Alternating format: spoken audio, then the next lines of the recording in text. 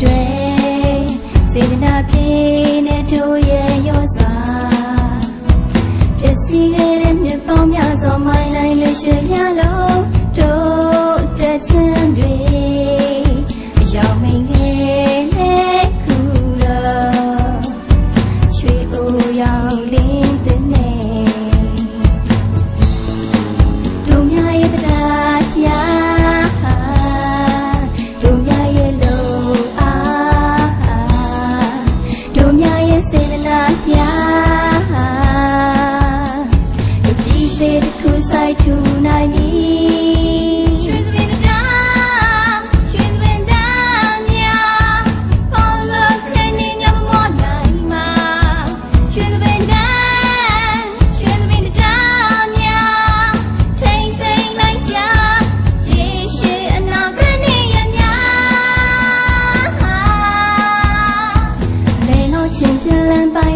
ရင်ခါကအိမ်မဆိုး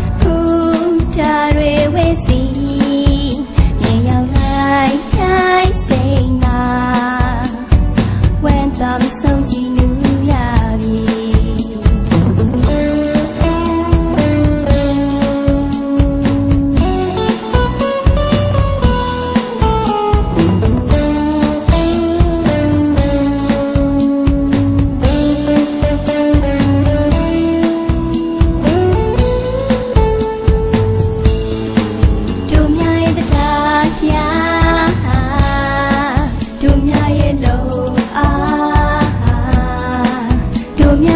Nadia.